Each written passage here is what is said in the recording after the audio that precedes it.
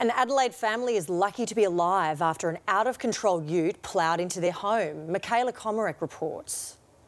The young family says the walls of their house shook from the impact of the car slamming into their front room. The frightening moment captured on CCTV.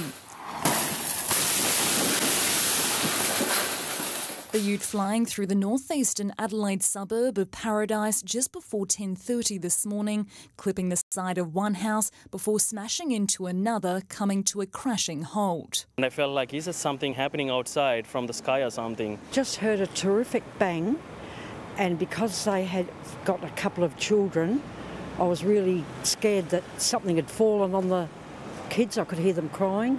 Miraculously, no one was hurt. The female driver walking from her car shaken but unharmed, neighbours running to help after hearing the disaster unfold. Best case scenario, you don't kill anybody, but it's, it's, it's, it's too possible that you could. The State Emergency Service soon on scene, spending most of the day cleaning the debris.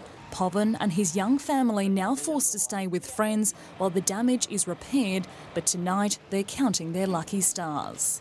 We're so thankful God for this. Um, yeah, I, I believe, um, yeah, his protection over us. Police are investigating the circumstances of the crash and urging anyone with information to contact them.